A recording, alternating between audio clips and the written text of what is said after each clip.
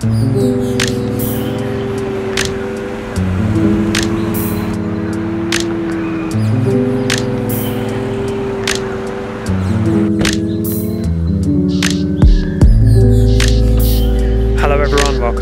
my channel and welcome to another video.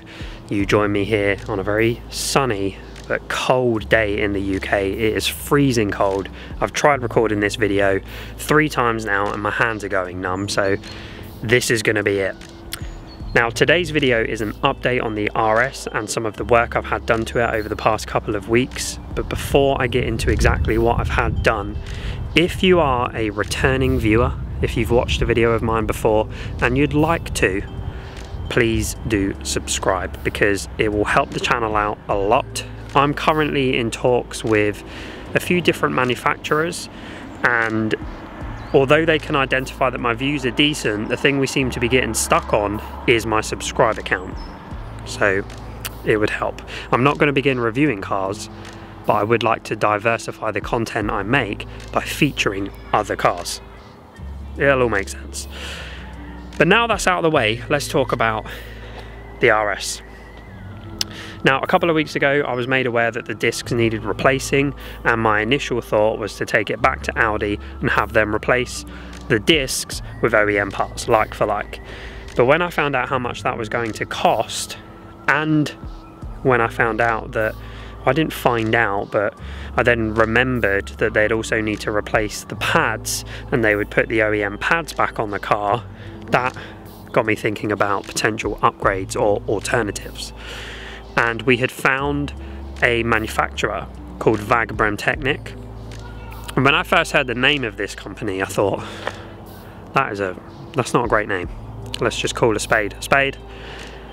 And I was a little apprehensive but I can report that that was just pure ignorance on my part because the discs and the whole brake setup is great. Now, I've had the brakes on the car for just over a week, but this morning was the first opportunity for me to get out and really go for a drive, and they're just great. Once they get up to temperature, they really, really are great brakes. They give me so much confidence approaching corners. Um, I just I don't really know what to say. I'm not too clued up on the technical elements of the brakes themselves, but what I can tell you is they are a two-piece floating disc setup and some of the components are made by AP Racing. So that in itself is pretty cool. Also, I went for Ferodo DS 2500, 2500 pads and a couple of you had suggested these to me in the comments of some of my previous videos and again they're just doing a great job um, there's been a couple of corners where I've tested the the kind of brakes corners that I know well and you can definitely not only brake a little bit later but you can also the, the turn in on the car is just so much I don't know more direct and I don't know if that's almost like a placebo. Maybe I'm just driving differently because I'm now confident the car's going to stop. I don't know. Um, because not to knock the OEM parts at all, but toward the end of their life, the discs or, or the brakes in general, there was a lot of travel in the pedal. And there were a couple of instances where I thought, not sure I'm to be able to stop in time. Uh, one instance with a BMW Z4 that, just as an FYI, absolutely destroyed me. Yeah, I'm as surprised as you are, but the guy driving it was a much better driver than me. And I can't remember whether or not I mentioned this in my previous video, but he absolutely spanked me. And we both approached a humpback bridge, and I think both of us had misjudged how much time we had to slow down for the bridge. So he slowed down really quick. I slowed down and for about 10 seconds I thought I was going to plow straight into the back of him. So that's what got the whole, right, do they need replacing? Probably. Let's do it. Um, now, I'm probably going to make myself sound, you know, like a bit of a bit of a tit here. Like I like I've just said, I'm not too clued up on the technical aspects of these brakes. But one thing that did stand out to me when I collected the car was just how good they look. They look incredible and I'll do a walk around in a moment. They just look so good. I've, I've stuck new tyres on the car as well. I've finally gone for Michelin Pilot Sport 4Ss. And again, I'll do a walk around because it's funny how different tyres can just change how your car looks just slightly. Just slightly. But overall, I'm really impressed with these tyres. Um, I've spent most of the week just scrubbing them in. And again, this morning, went out for a drive. These tyres are fantastic. They're so much better in the wet and I just feel like I'm much quicker in and out of corners. Not that I'm driving like a rally driver everywhere I go. And that was part of the reason why I went down this route with the brakes because we did look into a complete big brake upgrade from AP Racing, but then I thought I didn't want something that was going to be underused for a kind of A to B commute but then I also didn't want anything that would limit my options in terms of taking the car on the track. And I think this setup from VAG Bremtechnic is a really, really good middle ground because now I have the option to continue to do my commute and just use the brakes as is, but then I can also take it on tracks as well. So it's like the best of both worlds for me. And yeah, I'll probably do a separate driving video where I can really give you a, a sense of what the car's like to drive with this setup. But let's just take a quick walk around and I'll show you what they look like. Okay guys, so as usual, the car is filthy. I do not bother cleaning it Monday to Friday. There is just no point. Especially with the weather how it is at the moment. You couldn't tell today that we're going to be due a storm tomorrow morning. But the car's dirty, but let's just get right to it. Um, firstly, the tyres.